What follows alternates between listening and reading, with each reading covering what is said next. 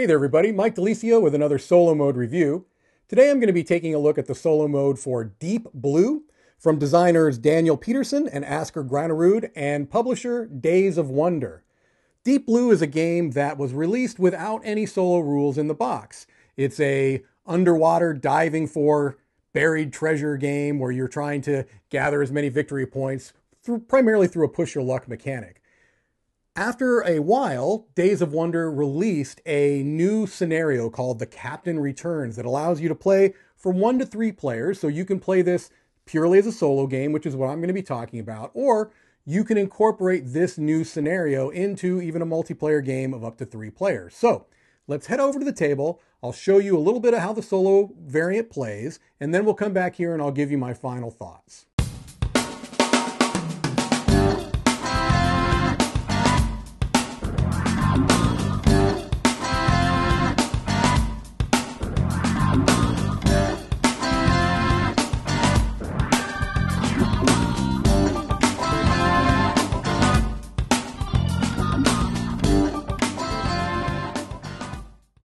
Okay, here we have a setup for a solo game of Deep Blue, and this is using the Captain Returns scenario, which is something that Days of Wonder has recently released on their website. You can go ahead and print it out, and it explains what you need to know to play a single player game of Deep Blue.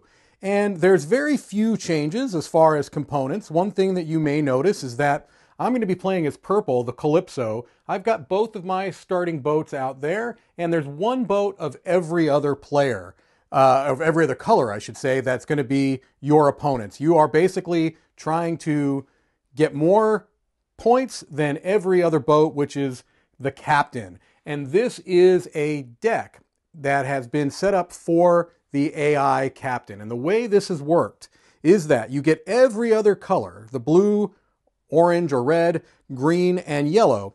And you take all the propeller cards from those colors and you take as many, you get rid of all of the silver cards. So you've got the propeller cards from all the other colors, all the silver cards have been removed. And depending on the number of gold cards, that's going to be your difficulty. The more gold cards you leave in this deck, the easier. They recommend for your first game adding two of them, and it doesn't matter the color. Uh, so right now I've got this deck set up in that first game difficulty. So there are two gold cards from different colors in that deck, and everything else are propeller cards.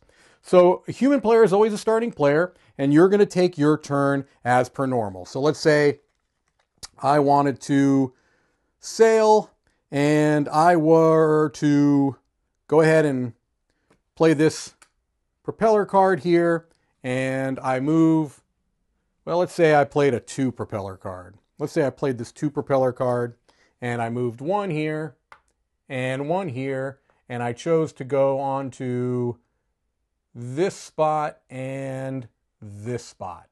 Okay? That would be my turn.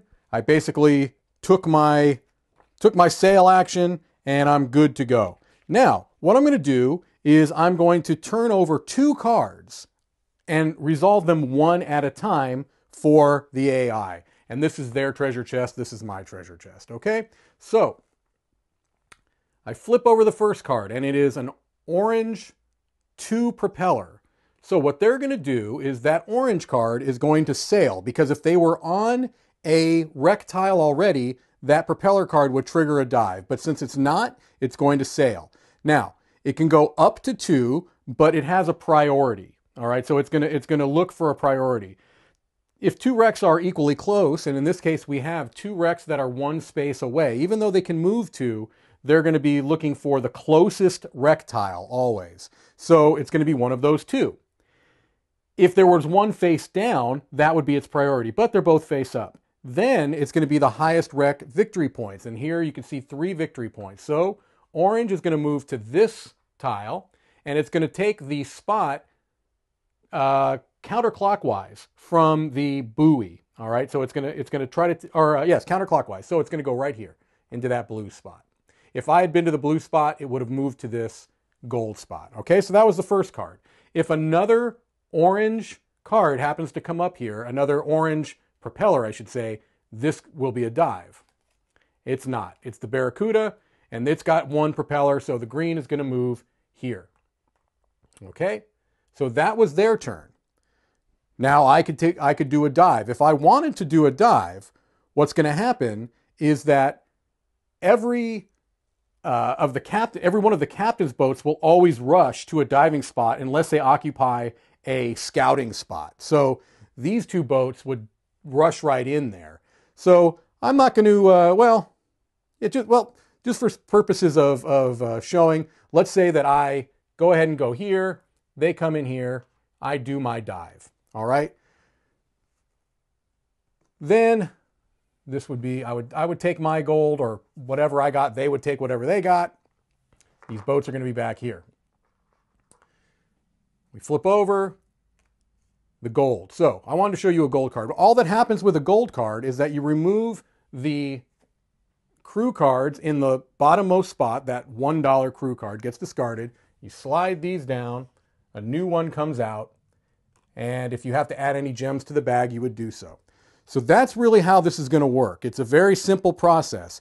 You're going to take your standard actions. You're going to be sailing, resting, diving, hiring crew members, getting your deck built to the way you want it. And the captain is going to be sailing around. They're going to be pretty aggressive in taking dives, and they're never going to push their luck. So that's one thing that you need to, to keep in mind is that let's say that they initiated a dive here. Okay, let's say they initiated a dive here. They would pull from the bag as per normal. So let's say that we're the, the I'm in the red spot, they're in the blue and the gold. All right, so they pull the first one out, it's a black. They would actually stop right there because one more black would bust. And so they're never going to take that risk. If I had pulled a blue, what they would have done is moved off of that spot to remind you it's been used and they would pull again. But in this case, they're not. So what they're going to do is they would get their three coins in their treasure chest and then the tile would be removed and they would move on. Okay? So when they're initiating a dive, they're never going to push their luck to a place where they can bust. They're always going to stop at the point that the next one could bust them. So that's the basic difference with the rule set. You are going to be scoring your VPs as normal. The captain's going to score the VP from dives as one player, even though they're going to have uh, you know multiple boats on on a dive side in almost every occasion. On the last dive of the game, they're always going to rush, even if they occupy a scouting spot. So they're going to try to get as much uh, gold as they can on that last turn. And that's all there is to it. So we'll head back over and I'll give you my final thoughts for the solo game of Deep Blue. Okay, hopefully that gives you a pretty good idea on how the solo variant of Deep Blue plays. So I want to talk about a few things that I tend to look for in solo games and apply them to this particular game. First of all, in solo games, I like to talk about the win conditions. What type of a win condition is in this game? Is it a beat your high score or a win-loss condition? And in Deep Blue, you are playing against an AI opponent, the captain in this case, and all of their boats that are rapidly spreading throughout the uh, the seas and competing with you on these dives. So this is not a beat your high score variant. You are playing against a another opponent that's going to be gathering up gold, placing them in their own treasure chest, and at the end of the game, you're going to open up your treasure chest and see who's got the most gold. Whoever has the most is the winner. And so I do tend to favor those types of solo games. And so I appreciate that Deep Blue has a actual opponent that you are playing against. That I think gives the game the tension that it needs, especially in a push your luck game like this. So uh, a positive eh, for me is that this is a clear win-loss condition. I also like to talk about setup and teardown because oftentimes that can be a big uh, factor on whether you take a game off the shelf and play it as a solo game. And for as large of a game as Deep Blue is, as far as like table space, it takes up a large amount of your table and has a fair amount of components. It's actually a relatively quick setup and teardown. Uh, the, the, the nice insert definitely helps with that, but there's really not a whole lot to do. Setting up that captain's deck is not terribly challenging. It doesn't take you very long. It's really easy to, to determine the difficulty. You just put in a certain number of gold cards, and if you want to make it easier, you put in more gold cards. You want to make it more challenging, you take out more gold cards. So, not a problem with the setup and teardown. It's actually quite simple to do, and it doesn't take the amount of time that that would make it feel like you're doing more of that than you are playing the game. So no problems there. Now the rules. The rules are a simple one-page printout. Okay, there's these are the rules for the solo variant. Now, the base game actually doesn't have a whole lot of rules either. So it's it's not a terribly complicated game. When it come when you come down to it, basically it's a very light deck builder where you're kind of getting more crew members into your deck to allow you to do more things, but it's all really built around a push your luck mechanic. This game boils down to a simple push your luck game. And the solo variant keeps that in. That's one of the things I do like is that it still feels like a regular game of Deep Blue. Not a whole lot changes. It's just that you've got these other ships that you're accounting for that aren't other players. They're the captain. And while you can manipulate the AI a little bit more than you can other players, it still gives you a pretty similar feeling to the game. And so the rules are fine. I didn't have any real issues uh, with ambiguities. There are some priorities that you have to account for, but they're very simple priorities. And uh, there were never a time where it's like, oh, should I go there or there? What's the right one? And they even tell you if you have a choice, you pick. So I, it, that's not a problem. The rules as written are just fine. So, overall solo experience. Now, Deep Blue is a game that I think on its just surface level, no pun intended for a, an ocean dwelling game, on its surface level is a very, very light game. Uh, that it, I feel like that was its design. It, this is not intended to be a, a, very deep strategic game. It's built mostly around push your luck. And anytime you've got that amount of luck in a game, you have to understand that that's the type of experience that you're going to get. And so it's nice to have a solo game that has that push your luck mechanic. There's not too many. I mean, there are there are solo push your luck games, don't get me wrong, but there's not that many that have the same type of feel. And so I do appreciate that. The complexity of the game being as low as it is makes me feel like I would not get this game strictly as a solo game. Okay. Um, if I already had Deep Blue, or if it already appealed to me as a game that I might want to play with other players, sure, I might break out this Captain's Return scenario a couple few times and play it if I was just in the mood to do a little bit of push your luck with some really pretty components.